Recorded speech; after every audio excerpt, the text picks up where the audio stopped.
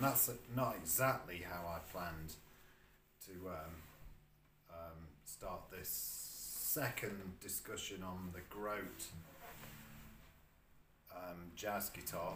Excuse the tuning device, I will remove it. Um, the reason I have that on because the last one that I did, I said it may go out of tune, and um, as soon as I started playing, it was already out of tune. But that's not the fault of the guitar; it was brand new in the box. I'd literally um, tuned it up and just was pretty excited about it. Um, and this again is a discussion and there's going to be lots of wordage. And if you're interested in that, th- this kind of infotainment, there'll be lots of discussions because I'd like to share with you what I love about this guitar and the concept of this guitar, where it came from, possibly why some people may not like them, um, and why I particularly love it. Um, I mean.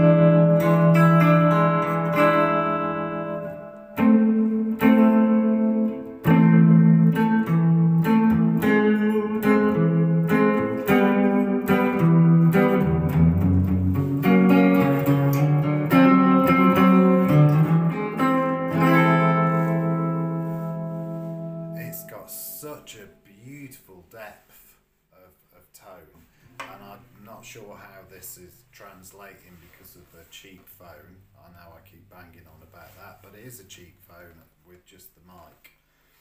Um, on on its stand, and this is how I, I love this. I came back today, and this guitar it just happened to be facing the doorway, so I opened it. I hope the straps come off. Um, it really does look like something from the 1930s, and I know it's an Epiphone Century kind of rip off, if that's what you want to call it, or whether you know these guitars aren't made anymore, and a lot of people can't afford the Gibsons and the Epiphones. Why not make something that's affordable? And there are a few flaws here and there that I, I hadn't noticed, but I think it's a flaw in the actual paintwork where it looks like there's a divot there. Well, I used to work on vintage cars bodywork and I can't actually feel a divot, so it's something in the paint, but that doesn't bother me. And back in the 1930s, when the concepts of these guitars were first coming about, I guess through players like Charlie Christian, um, who was, you know, um, was one of the first guys to actually amplify a guitar, put a pickup on it, and become a lead player in an orchestra. Or an, and you know, there were so many others that followed suit. Charlie Christian, I can't play like Charlie Christian. Nobody can. Only you know, there's lots of imitators, but that's another story. But when I looked at this guitar last night and I was talking to a friend of mine about it, I said it's the kind of thing that you would see in one of those 1930s, 40s sitting rooms next to a radiogram. Um, just everything about it, the you know, and why not? And why why knock creative minds you know, whether they be Chinese creative minds for coming up with a concept like this so you and I could own something that is gonna sound because I've mentioned this before, the concept of the guitar doesn't know whether it's an Epiphone or a Gibson. It's an instrument and it has dimensions, depth, it has a pickup placed in a certain place and if love has been put into that design, the same sounds will come out of it. Better sounds can come out of it with more expensive woods, but when these guitars were conceived, it was post post war. There'd been a huge depression, and there was a boom time. So to make a financial boom, they had to make things on a budget, and quite often, some of the, the old Gibsons, I had a really old Rosetti guitar with a scratch plate with a kind of a P90 on it, which I later learned is my, one of my first guitars. I bought it really cheaply. I was told later it was a prototype of a Les Paul and was worth um, a great deal of money, and I sold it for next to nothing because it, you know, and um, what I'm, I, I digress.